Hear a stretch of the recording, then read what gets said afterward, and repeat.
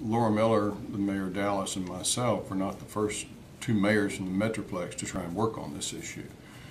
Um, the, my predecessor, uh, Kenneth Barr, had, had tried as well when he when Mayor Kirk was was mayor of Dallas, and and um, it it was a challenge then, and it continued to be a challenge because Fort Worth's attitude was a deal is a deal, and uh, that was not what uh, what Dallas had in mind.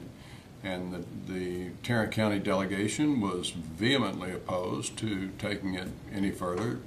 Uh, they felt like this amendment was put in place to protect our largest employer, American Airlines, to um, ensure that DFW International Airport, our largest fiscal engine in the entire region, was protected as well.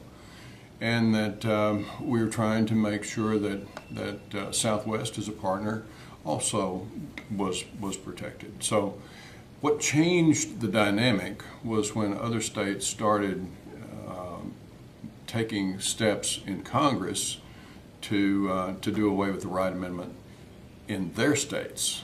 And that kind of changed the, the, uh, the dynamic of our discussions. So we decided, well, um, instead of doing just cussing, let's go back and do some discussing. And one thing led to another, and the negotiations began. Little did we know at the time that um, it was going to turn into a real rodeo. Fortunately for me, it wasn't my first uh, or my last. And at the same time, I think in, in the long run, what we did was to do exactly what we had planned to do, and that was to grow DFW International Airport to protect the largest national, international carrier, American Airlines, and our largest employer in Fort Worth, and the largest domestic carrier, Southwest Airlines, in Dallas.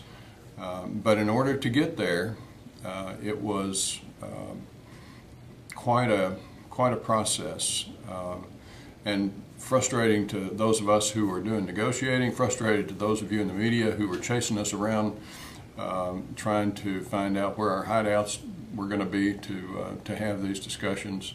Um, frustrating for both the business groups in, in Fort Worth and Dallas, um, and uh, all of the staff and attorneys that, that were involved.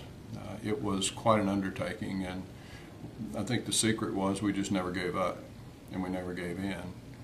And the result is what you see today, celebrating the, the A380 coming in here uh, from um, first of all Qantas and then Etihad.